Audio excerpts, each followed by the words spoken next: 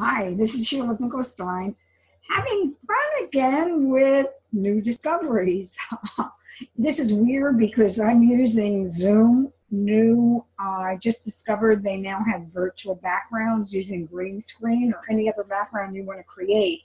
Unfortunately, I do not have a strong enough processor, which is two gigahertz or more.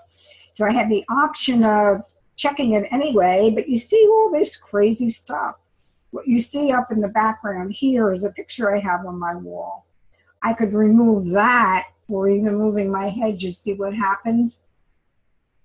But we're still going to have all this crazy stuff. So obviously I can't do a webinar or any kind of meetings using the virtual background but I wanted to let you know, and down below or somewhere, I'm including a link for the training. So have fun. Bye. Sheila Finkelstein, Technology for Seniors Made Easy.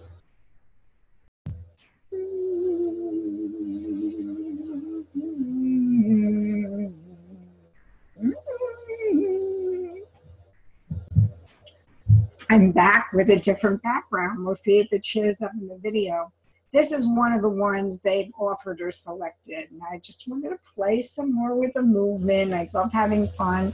He said, I saw show that was a picture.